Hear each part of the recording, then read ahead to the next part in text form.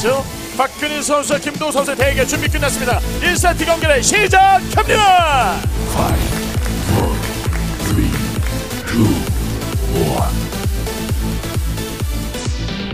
어스름탑에서 1세트 대결 시작됐습니다. 파란색 테란 박근희 선수입니다.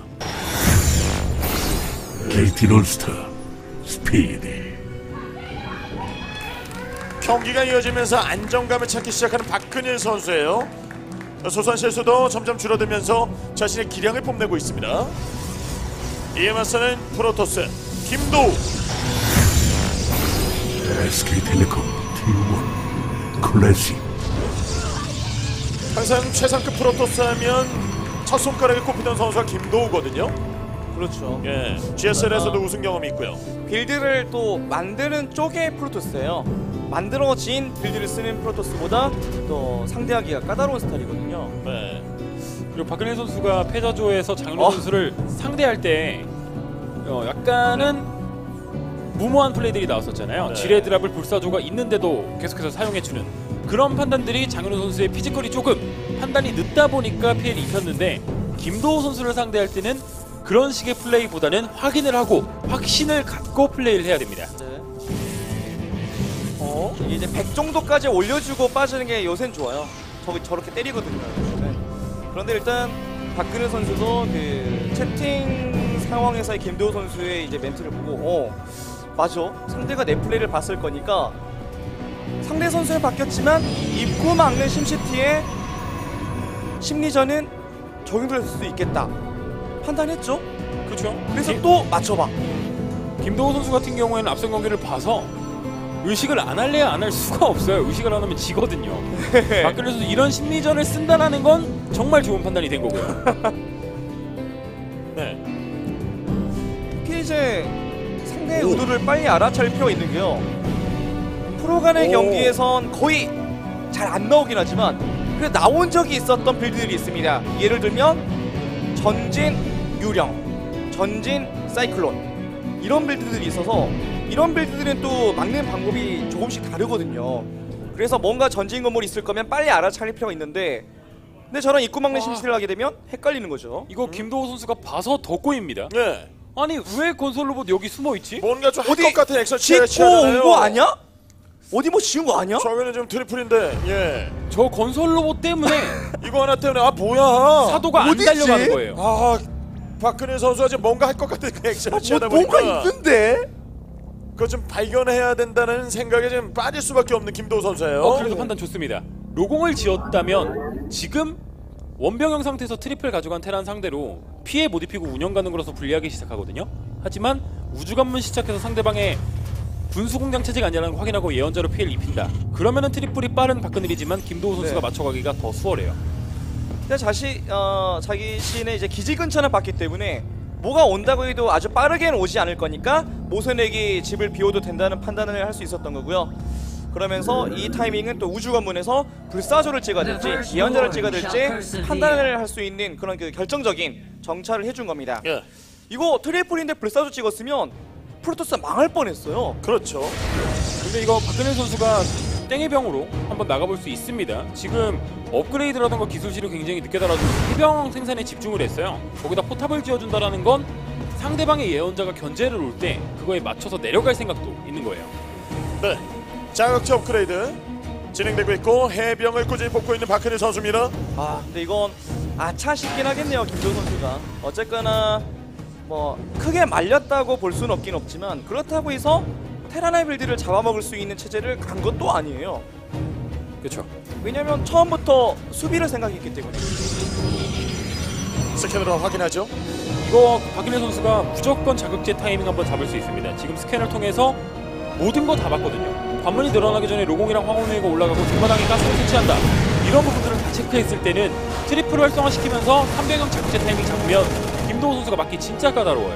네, triple tech인 걸 봤다라는 게 크죠 그렇죠.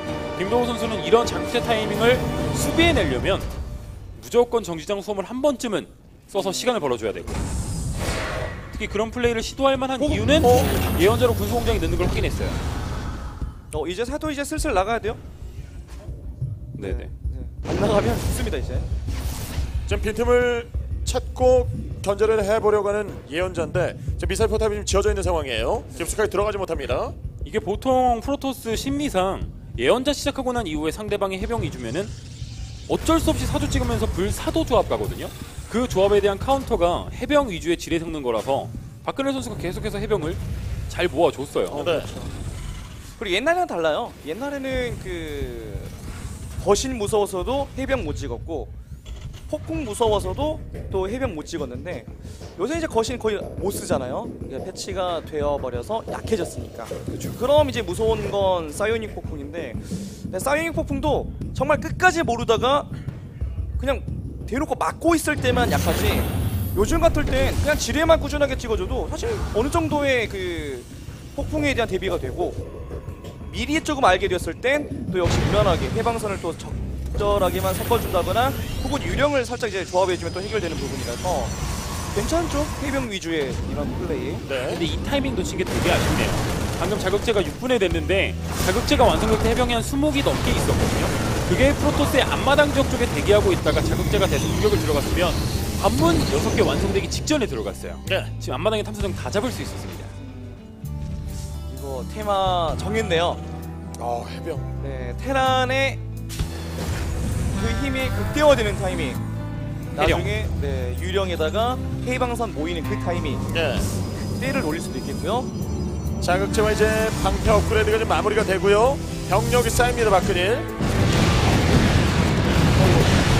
박근혜 선수는 팔각 사령부를 지을 생각이 없습니다. 병력도 다 늘려놨고 해방선을 찍으면서 유령 사가놓고까지 지은 건 이건 유령 3기쯤 생산해서 타이밍 잡겠다라는 게 확고해요. 그래서 무기고도 제대로 안 올라가고 있습니다. 네. 그래서 견제도 안 하죠 지금 우주우왕을 늘리는 거 너무 또 타이밍 늦어지니까 딱 최소한의 의료선 확보하고 이제부터 해방선만 찍어주면서 이거 정말 딱 그 최대한 조합을 갖추고 일격에 끝내겠다는 생각까지도 해볼 수 있어요 그리고 저희가 계속 얘기했잖아요. 인구수가 막히기 때문에 미리 지어놓는 게 좋다라고. 이번에 4개를 미리 지었어요. 네 아슬아슬하게 잘 찍고 있어요 네. 유령도 갖추게 되는 박근일 선수예요. 해방선 유령, 거기다 해병 불검의 의료선까지 있습니다.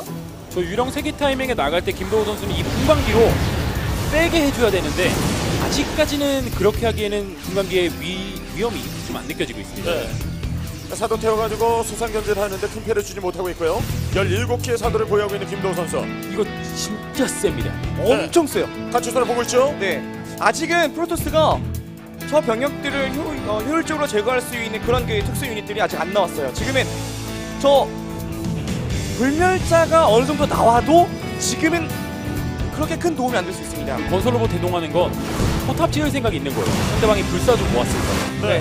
그래서 저 분광기 견제 자체는 좋지만 근데 그보다도 이 공격이 더 매서울 수 있어요 어, 근데 예, 유령 미리, 내려가는 거 보고. 유령 미리 가다가 활류 맞으면 안 됩니다. 자리를 잘 잡았어요 자리. 오, 근데 EMP가 붙였어 어, 어. 자, 언더 위쪽. 지금 이거 박근혜 선수가 올인됐거든요. 김도호 그렇죠. 공간기가 초대박을 내서 네, 들어가서 오! 자, 이거 예피. 자 근데 프로토스도 너무 위치가 나쁘긴 해요 그래도 테란의 본진 쪽은 초토화 시켰습니다. 네, 이거 들어오는 막기만 거 하면 돼요. 막기만 하면 돼요. 막기만. 오, 오, 네, 들어가고. 좋아요. 엮어놓고. 자 그럼 해방 더 위쪽에 방금. 해방선까지 해방선 아, 저 병력이. 정지장 소물에 묶인 게 너무 네. 아쉬웠겠는데요. 자, 박근혜 선수. 추적자 생산하면서 이 병력만 몰아내면 네 자, 점멸로 해방선 하나 더 끊어냅니다. 우리 추적자 오른쪽으로 좀 살짝 빠져서 점멸로 딱 하면 예. 위에서 저 해방선 뗄 수도 아니 있어요. 위에는 이제 일꾼이 30기 가까이 잡았어요. 초대박이 초대박. 이러면서 프로토스는 2업이 됐는데 박근일 예. 선수 1, 1업에다가 유령 3개 타이밍이었어요. 그렇죠. 병력 나오는 관측선을 보고 난 이후에 네. 분광기로 카운터를 쳤거든요. 자, 하지만 아직 방심해서 안 됩니다. 저 해방선을 빨리 정리해야 돼요. 지금 수비에 동원되고 있는 테란의 병력이 수비 끝내고 내려와 버리면 네. 그럼 이, 이 라인 위험해질 수 있습니다. 빨리 저 해방선 잡아야 돼요. 해방선 두 개. 박근일 선수가 추가 병력이 안 나오네요. 아, GG.